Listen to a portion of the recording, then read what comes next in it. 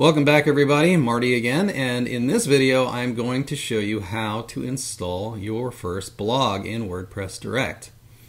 This is very exciting. By the end of today, your blog is going to be up and running and getting ready to rank in Google for your terms so that you can get some traffic to test. So, without any delay, let's get right to it. So before you start your installation, you need to have a few things ready. First, you want to have your WordPress Direct account. On uh, the first day of Module 2, I showed you how to sign up for a free WordPress Direct account uh, that we're giving to all the challengers. So if you've done that, then you should have your login email address and password. The next, you'll need a domain name. This is the one that you registered based on the theme keyword that you chose and researched in Market Samurai. You'll need a web hosting account, um, which is hosting that domain, which means the name servers in the domain are pointing to that hosting account. Kenny Goodman should have covered that. You need your category keywords. These are the ones that you've chosen to um, optimize your site around. And then you need a brief um, description. Uh, we suggest uh, 20 to 30 words. Uh, this is an, something optional. You can put it in later but uh, we're just uh, suggesting that you have everything together at the time that you do the installation so you don't forget. Now, um, let's go to WordPress Direct. Uh, we're on the home page. Now, where do you want to go is the login link. Click that button, enter your details, and then you'll be taken into the members area. Now, another good thing about the login page is that it gives you updated uh, news and announcements. Uh, sometimes during the challenge, we'll post things here um, that everybody in the challenge needs to know. So when you're logging in, just take a glance to the left of the uh, of the login fields and see if there's anything relevant here for you. I'll put in my uh, address now, and we will log in. Okay, when you're in the members area, it looks just like this. This is your um, website dashboard. This is where you have all the sites listed. Since this is a new account, there are no sites in it yet. The two main things you want to do are install your sites and manage your sites. Manage your sites brings you back to this page, and what we want to do now is do an installation, which is going to be this big red button. Now, before we go there, uh, there are a couple other things that I want you to um, have planned ahead for. So let's talk a little bit, just a refresher on web hosting. WordPress Direct can use any cPanel hosting account. That's really a brand name. Uh, cPanel is something that if your hosting account provider has that environment, it'll be explicitly listed. Um, if you don't know of a hosting provider to use, then you can see our FAQ, frequently asked questions, for the list of the hosting providers that we support. The challenge uses HostGator as its uh, preferred hosting provider. We've had run thousands of people through HostGator with no problems. So if you are um, on the fence, then we recommend you choose HostGator.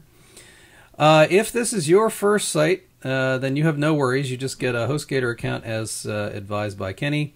And then if not, uh, what you should do, if you already have sites and you already have hosting accounts, what you can do is make an add-on domain in your cPanel dashboard and use that instead of having to buy a new account just for this site.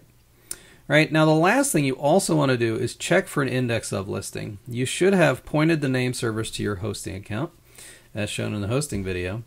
And let's go to our, uh, our example site here, which is going to be the Green Tea Supplement blog.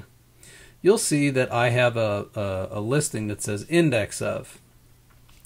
And that's what we call the index of listing. Now, if you're hosting is set up properly and the domain is pointing at it, you will see this before doing your installation. Now, the other thing that you might see if you are new to this and you've just signed up for a HostGator account is the HostGator welcome screen, and that will be the, you know, it'll be kind of bluish and it'll have the picture of the alligator on it. And that's okay too. Um, either one of those, an index of or the HostGator welcome screen, is okay. So I'm going to go back into um, the WordPress Direct Control panel and I'm going to go to this red button here and we're going to click install new site. The first thing that you will see is you will be taken to our theme gallery and uh, in the introduction to WordPress Direct back on day one I explained our theme gallery. Gr putting green here and see what we get. Uh, this looks kind of cool, this green leaves. That's a tea site. So um, That's what we'll do. We'll say install to a new site here. And that's step one. Now, step two is going to be taking the information that we have on our domain and putting it into WordPress Direct so that um, WordPress Direct can put the blog on our hosting account.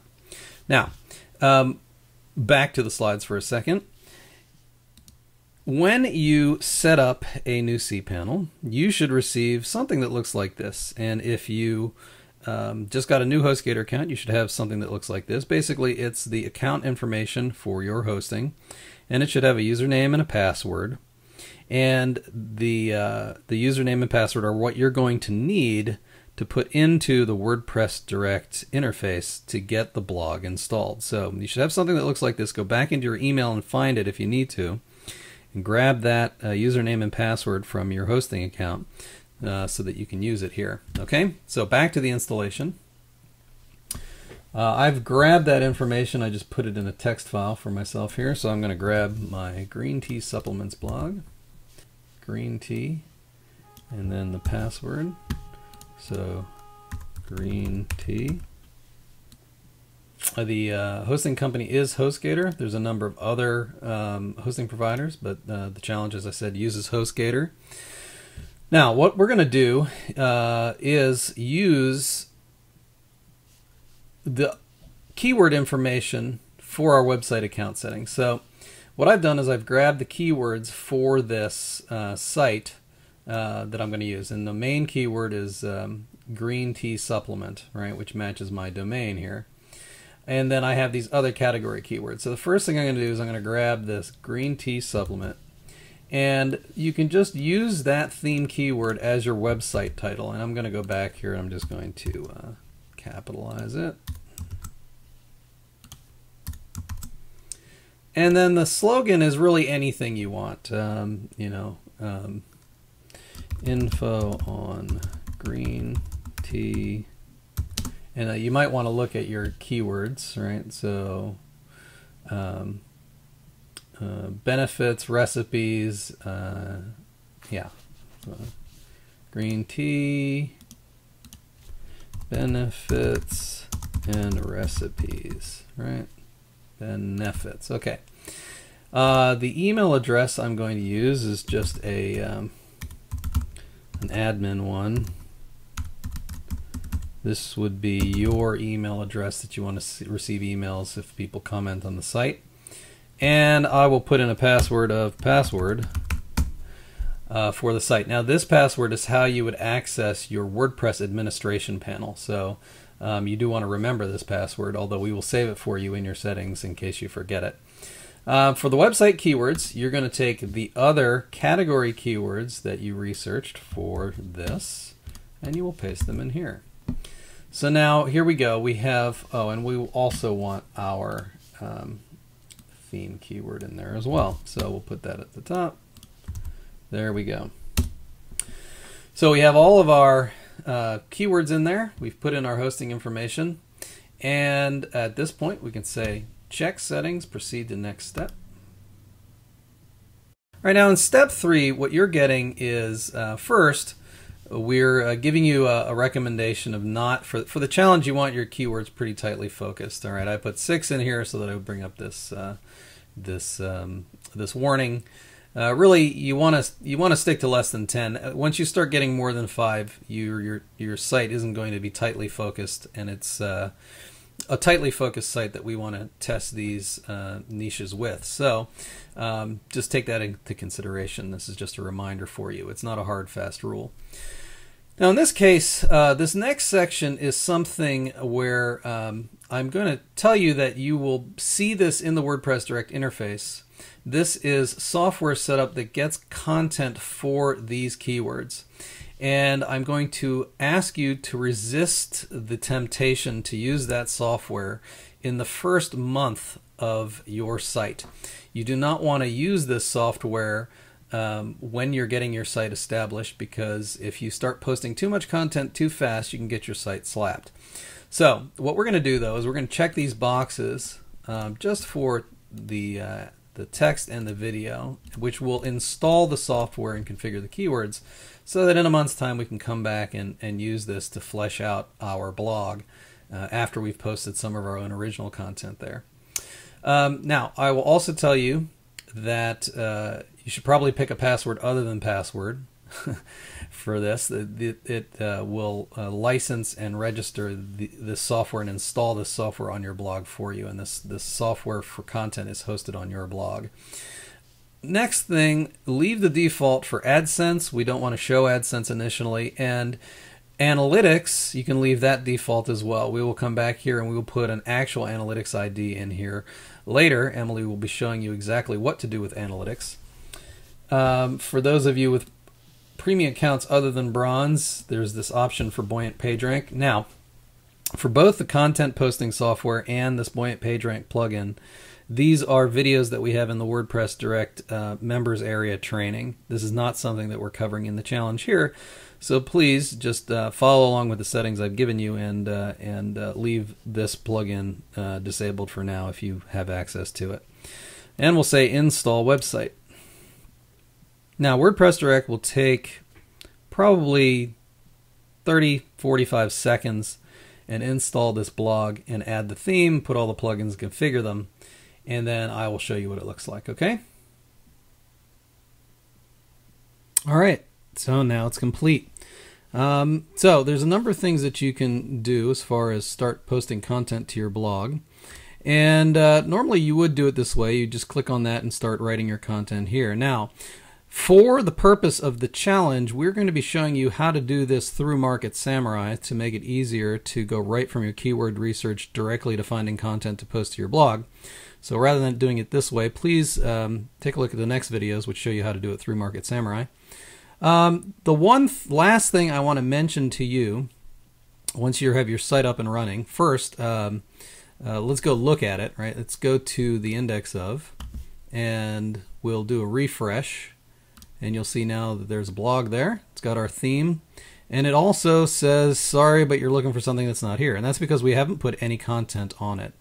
So um, whether you're going to write it through our interface or do it through Market Samurai, you're not going to see anything that you've posted as content unless you put it up there. So um, once you do that, then a number of things are going to happen. First, you'll see it on your homepage, and second, you're not going to see any categories until you post content in a category. The WordPress filters them out and, and only shows you the categories that actually have content posted to them. So be aware of that as you're posting content. All right, um, one last thing I want to show you back in WordPress Direct to do for your new blog is go to your website settings and uh, one thing which we don't have in the installation, just to keep the data entry uh, as minimal as possible, is this brief description, 30 words or less. Now, you've either already developed this or you can just uh, essentially make it up by looking at your, your keywords. And then I would go to my keywords and grab these again and reuse these in my uh, in my um, my editor, right? So uh, green tea health benefits, green tea recipes. And the reason this is important is that when your site gets indexed, uh, this description is going, go, is what's going to be listed on the Google results. Um, and so uh, having your keywords in it is actually a good thing. It'll it'll help the site to rank. And so a short description like this is exactly what you want uh, Google to see when it's uh, trying to figure out whether it should rank your site for these keywords. Okay?